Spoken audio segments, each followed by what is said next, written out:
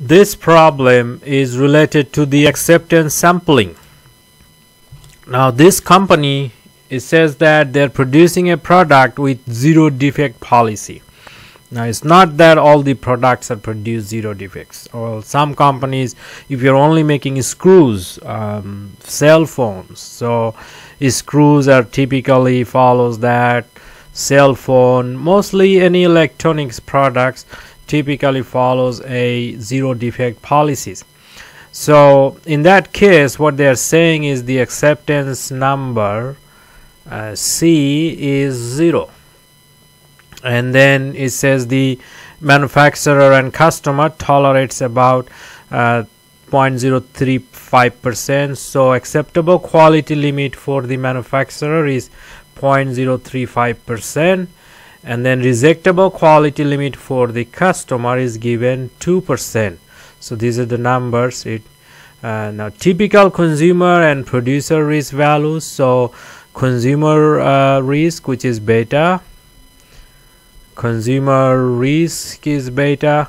Check this definition is one of the earlier videos which is 0.1 all the time or 10% and then the producer risk which is alpha is 0.05% so I have calculated this sample size. One is based on the producer risk. I have calculated it um, this um, uh, 146 and based on consumer I have calculated 115 so if you want to satisfy both of them meet both of their criteria you need to inspect 146 uh, pieces of that second question is asking make a single sampling operating characteristics curve this is I have prepared that already so you can check that.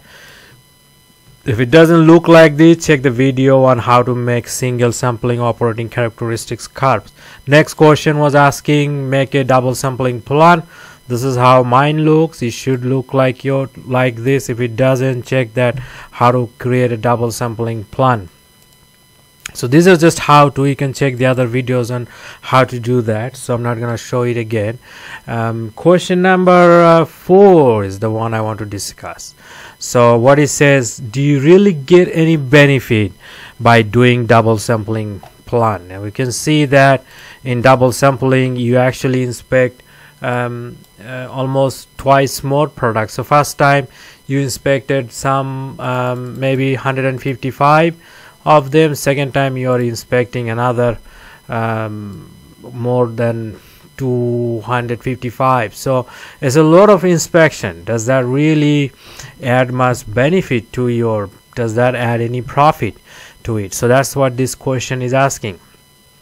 Now as you can see that uh, this axis is the the y-axis is the acceptance axis. So the more product you accept uh, then as a manufacturer is good for you. So as you can see it, this curve shifted towards the um, y direction. So it's going up direction meaning that you are accepting more accepting more products now. So you will be sending more products to the market. So you are actually as a manufacturer you are minimizing your risk. So you are reducing the alpha value. So basically you are minimizing uh, the risk number for you. Now here is the thing. When you accept more product that means you send it to the market and then your customer take the risk. So you decrease the alpha by the sacrifice of increasing the beta so let me explain that. So if you go back to that problem it gives you the tolerance value. So your um, your tolerance your customer tolerance uh, I think that's a type. It should be 0.035 percent I think. Let me check my Excel. Yeah 0.035 percent.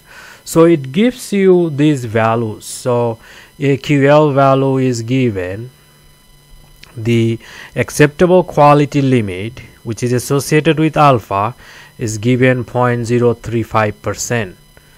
Uh, once again alpha is 0.05 now if you if you look at this aql value let's say this is the line where you got this aql value.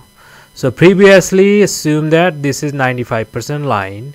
So your alpha value was about 0.05 now your values went down to even less so maybe that's a 3% so your alpha reduced to 0.03% so previously you took 5% risk now you are only taking 3% risk. So that's a good for you. Now we don't know about that. Let's check the beta.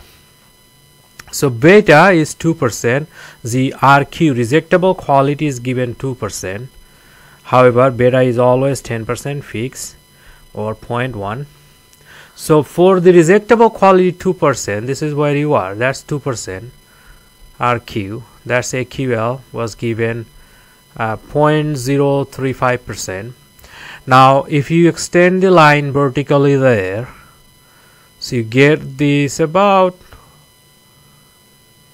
18% I would say. This one probably around 22% maybe. So let's that is 18% let's say that is 22% so your consumer risk increases. If this is the acceptance y-axis is the acceptance that means that's your consumer risk. So you accept a product send it to the market then your producer gets it. So your producer risk beta in this case particular case it was not point one. It was based beta in this case the way this plan was made. So your producer consumer risk beta which was 18 percent um, at the beginning for the single sampling plan now this blue curve is the single sampling uh, plan this orange curve is the uh, double sampling one.